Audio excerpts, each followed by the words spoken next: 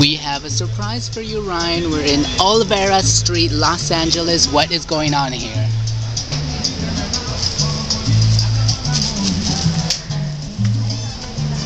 I have looked in Cancun, Cozumel, Nogales, Sonora, and Tijuana for what I would call mariachi pantalones, which Samara is now telling me are charros.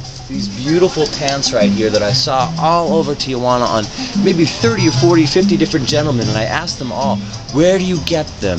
And they said, you have to pick out the jewelry and have someone create them for you. And I said, there's not a store where I can just walk in and see them all and pick out the ones I want. And they're like, no, it doesn't exist. And I was complaining to Samara about my experience. She's like, let me take you somewhere. Let me take you somewhere. Come on the subway with me. And I had never been on a subway in Los Angeles. And so she brought me here to Olivier Street, Olvera. Olvera, Olvera Street, Olvera. Olvera Street. And here they are. So I've now found my pants. I don't need the whole outfit. I don't need the belt. I don't need the coat, but I've always wanted these pants. I think the fashion sense of them is just, it's so strong. How did it not pick up as a fashion statement? Look at that. uh, so I don't necessarily need the whole mariachi outfit. I just think that those pants are They're so children's stylish, sizes. and I've always wanted them, and now I'm going to get a pair.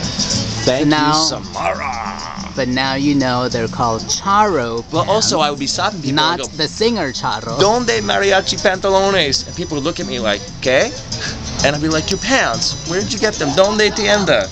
Pantalones. And oh, no, no, no, no. Uh, so I should have said, Donde charros? But now you know charro is not just the s cha-cha Coochie, coochie, singer. coochie, coochie. They're also the pants of the charro. So let's find out how much they are now. Miles of smiles.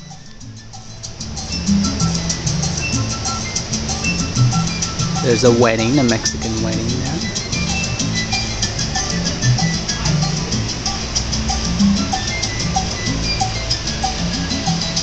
pretty that color painting.